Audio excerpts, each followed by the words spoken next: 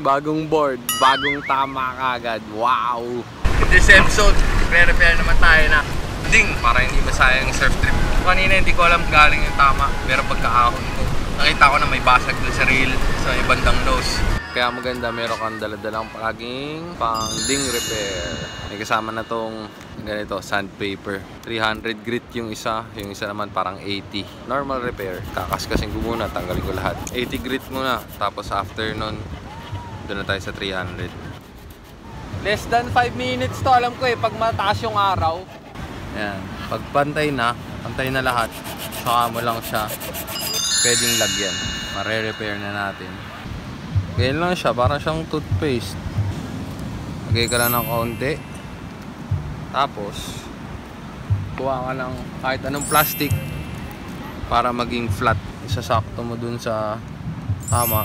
Madami pa ngayon nilagay ko. Okay lang ang madami.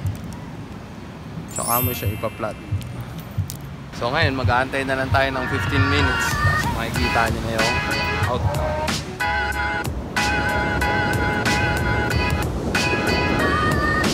Okay, tigas na kagad. Ganun lang. So wala pa akong 5 minutes. Okay na kagad. So pwede na ulit mag-surf. Ngayon, ang additional na lang dito is i-wet sanding maganda para kuminis siya.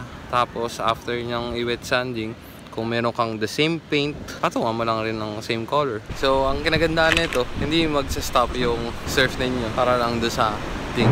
Saan ba ito nabibili? Kay Cemento Surf Hardware and Kudo Surf. Alam ko meron din sila doon. At ang nanalo ay si Albay Wave Riders Club. Kaya nanalo ng t-shirt. So, ang next natin paraffle ay ang Surf All Day Eco Bag. So, kung para sumali, share mo lang yung video, tapos kailangan mo ako itag para makita kita.